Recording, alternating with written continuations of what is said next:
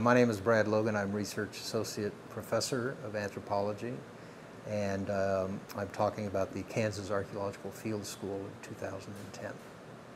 What archaeology is, is the study of the human past in, in every regard, everything that we can learn about uh, what human beings have done, um, either in history or prehistory based on their material remains. This site belongs to a culture we call Hopewell, which extends throughout uh, the American Midwest. When we first dug the site in 1991, we found artifacts that are quite similar to this. Um, and basically, one of the reasons that I went back is to kind of connect some of the excavations that we had done in 1991 and increase the sample. In particular, well, what you see before you here are representative samples of pottery, which is very distinctive to the Kansas City Hopewell culture, the, the decorative treatment around the mouth of the vessels. So these are rim sherds uh, from around the mouth.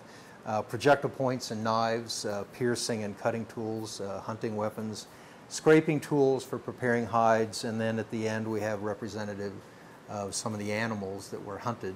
Really, it was an opportunity, the field school, but really I wanted to do archaeology as a field, and it's a necessary step to take, and it's something I'd want to do for the experience and for the enjoyment.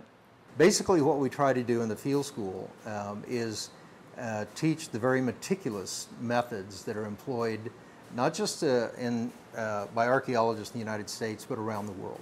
To be quite frank, it'll give me my skills as an archaeologist, but it's, I don't know, a, a level of understanding in what's actually going on, dispelling all of previous notions and showing this is the facts, this is what archaeology is.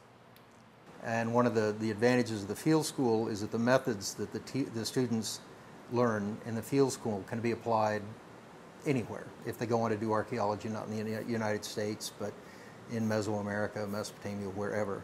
And so one of the things that we teach them is uh, how to use surveying instruments, um, uh, uh, what we call a total station or an electronic distance measure, EDM, how to precisely map a site topographically, how to lay out and record the precise location of our excavation units.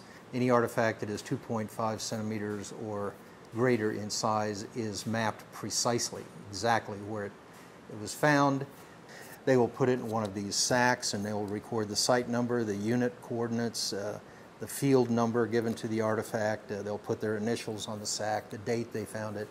So it's, it's basically imparting to the students how very meticulous archaeologists can be in the field.